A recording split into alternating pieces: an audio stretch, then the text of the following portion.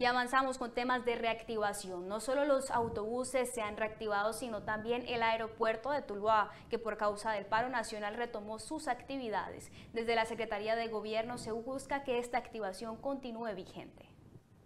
Antes del año 2004, su nombre era el Aeropuerto Farfán. El 20 de agosto del 2004, emanado el Honorable Consejo Municipal, fue rebautizado con el nombre de Aeropuerto Heriberto Gil Martínez. Esta terminal aérea, frente a la crisis de las últimas semanas con los bloqueos de las vías, se reactivó, ayudando a cientos de comerciantes y viajeros.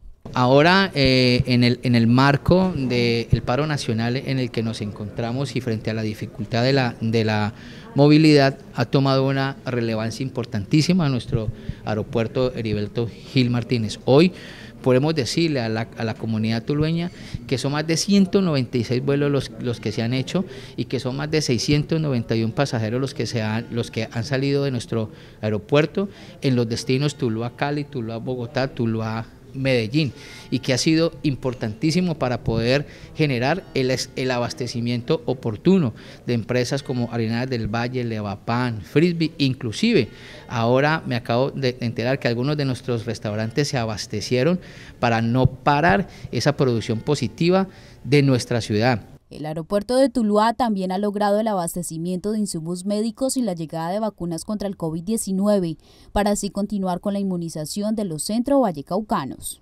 evacuaciones eh, aeromédicas importantísimos, poder abastecer nuestras IPS y nuestras EPS de los elementos necesarios para, para diálisis.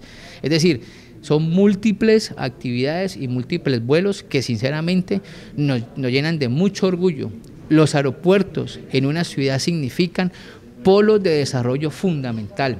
De aquí en más seguiremos activando una, un, un propósito que nuestro alcalde tiene desde el año pasado y es poder construir un holding para que, para que la aviación comercial o la aviación civil se empodere de nuestro aeropuerto y no solamente generar empleabilidad, en generar, generar recursos, sino también que nuestra ciudad sea vista como un polo de desarrollo para el turismo local y de la misma región. Los comerciantes de la ciudad en tiempos de crisis pudieron abastecerse, ya que por el bloqueo que existía era imposible que los insumos llegaran por tierra. Una vez empezamos el paro, nos vimos afectados porque no podíamos traer insumos y nos tocó hacer uso del aeropuerto y que fue una gran oportunidad para conocer los servicios.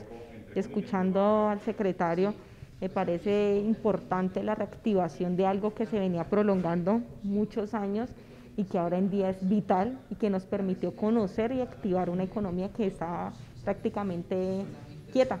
Nosotros traemos insumos eh, carne y los traíamos con una empresa que nos la colocaba en el aeropuerto. La activación del aeropuerto Heriberto Gil Martínez ha dado la posibilidad de que se vean diferentes aeronaves aterrizando en la ciudad, generando movimiento aéreo y mayor productividad en la región.